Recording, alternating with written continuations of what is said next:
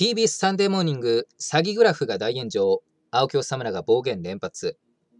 本日放送された TBS のサンデーモーニングにおいてまたしても偏向報道が繰り返されてしまいました。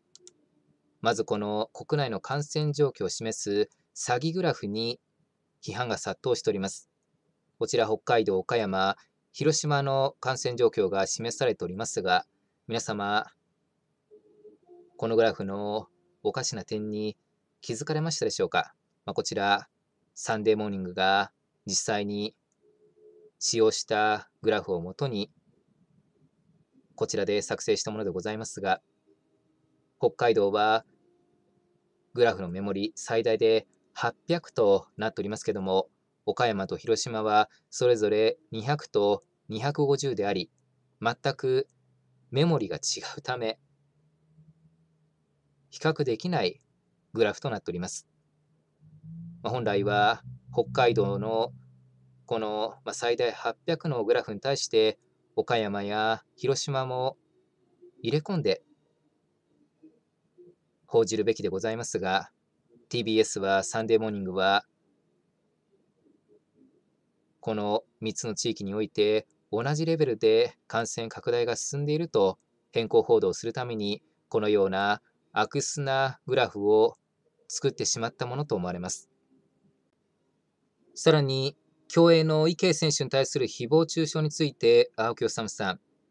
池江さんの問題で、アスリートと社会が対立構造になっている、こんな状況のオリンピックが双方にとって幸せかなどと主張されておられましたが、そもそも池江選手に対する暴言、誹謗中傷は、社会全体が行っているものではなくて、まあ、社会の一部に存在してしまっているいわゆる左翼の皆様がツイッターなどにおいてステアカウントなるものを作って誹謗中傷を行っていることがすでに客観的な分析により確定しております。青木さんにはあたかも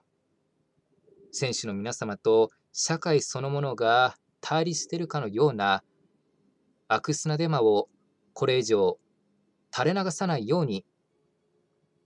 お願いいたします。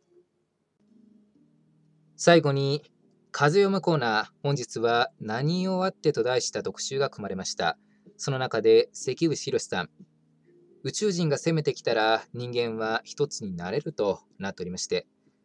まあ、こちら私も映画などを見てこのような考えを持っていた時期もございましたが、まあ、実際には人類共通の脅威である感染症が世界において猛威を振るっている中でも人類はバラバラでございますので宇宙人が攻めてきても同じような状況になってしまうんじゃないでしょうか。関口さんにはまずはこのコロナ禍における現実を受け入れていただき、まあ、そういった現実をもとにですね今後は何らかの主張を行っていただくようお願いいたします。本日のサンデーモーニングもひどい変更報道が繰り返されておりましたが、この番組を見てしまった国会議員の細野豪志さん、思わず叫んでしまったと明らかにされておりますが、この番組、本当に百害あって一理なしの変更番組でございますので、皆様ご自身だけではなくて、大切なパートナーの方や、ご家族、親戚、友人、知人の皆様が、